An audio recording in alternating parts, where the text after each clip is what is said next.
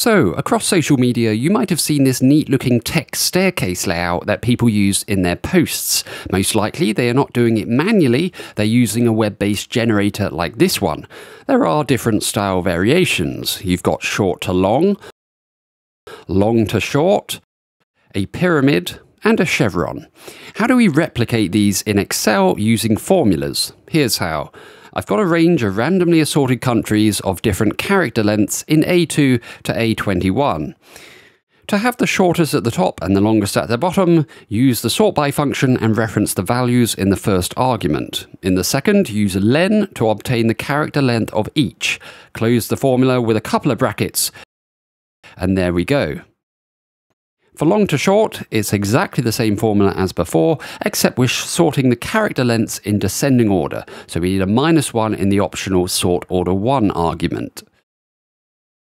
Now, the pyramid is a bit trickier, of course. To get this to work, we need to sort the original values twice.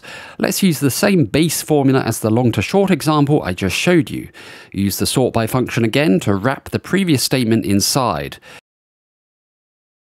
In the second argument, let's do minus 2 to the power of sequence, and then use count A, reference the values, and then close each part of the formula. As you can see in the tooltip, what this does is return an array of alternating negative and positive numbers, with the former exponentially decreasing and the latter exponentially increasing. Therefore, the longest values end up in the middle and the shortest ones at the ends.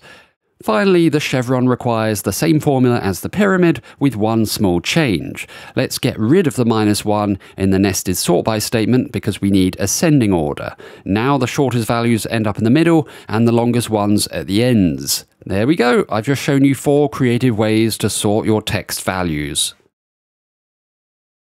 Oh, and by the way, if you centrally align these four lists, just look at the shapes you create. The short to long looks like a wizard's hat, the long to short looks like a funnel, the pyramid looks like a star, and the chevron looks like a sand timer. Impressive, eh?